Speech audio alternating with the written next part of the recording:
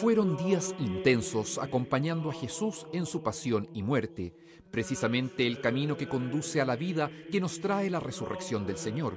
Es el llamado misterio pascual que el Papa Francisco junto a toda la Iglesia celebró en el Vaticano y por segundo año con una participación reducida de fieles a causa de la pandemia. La liturgia de la Pasión del Viernes Santo hizo memorial de la ofrenda de Jesucristo en el Calvario, la entrega completa al Padre significada en el gesto de postración del Papa Francisco y en el abrazo a la voluntad de Dios por medio de la aceptación de la cruz.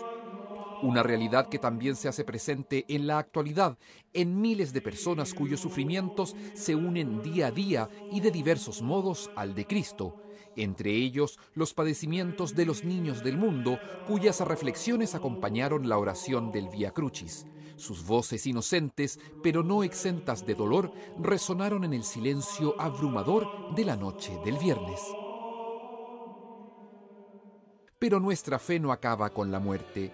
Esta es sometida por el amor más grande, aquel que inunda al mundo con la fuerza irresistible de la vida que nace desde la tumba.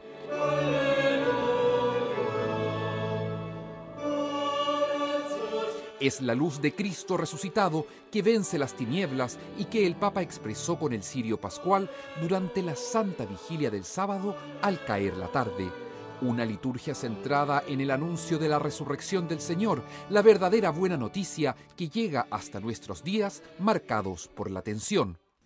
Ecco il primo annuncio di Pasqua que vorrei consegnarvi. Este es el primer anuncio de Pascua que quisiera ofrecerles. Siempre es posible volver a empezar.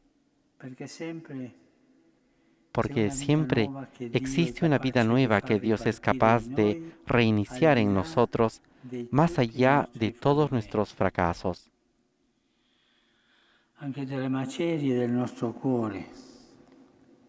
Incluso de los escombros de nuestro corazón y en estos meses oscuros de pandemia, oímos al Señor resucitado que nos invita a empezar de nuevo, a no perder nunca la esperanza.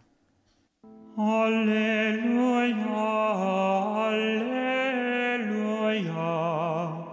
aleluya. La mayor fiesta de la cristiandad se prolongó con la celebración del Domingo de Gloria y con la bendición Urbi et Orbi a mediodía, es aquella invocación que el Papa tradicionalmente realiza sobre la ciudad de Roma y el mundo. En las palabras y en el corazón de Francisco estuvieron todos los lugares donde hoy las personas sufren profundamente y que claman la presencia de Jesús resucitado. Myanmar, Siria, Nigeria, Líbano, Haití y el mismo Irak que el pontífice visitó recientemente. Di fronte, o meglio, in mezzo a esta realidad compleja. Ante esto, o mejor en medio a esta realidad compleja, el anuncio de Pascua recoge en pocas palabras un acontecimiento que da esperanza y no defrauda. Jesús, el crucificado, ha resucitado.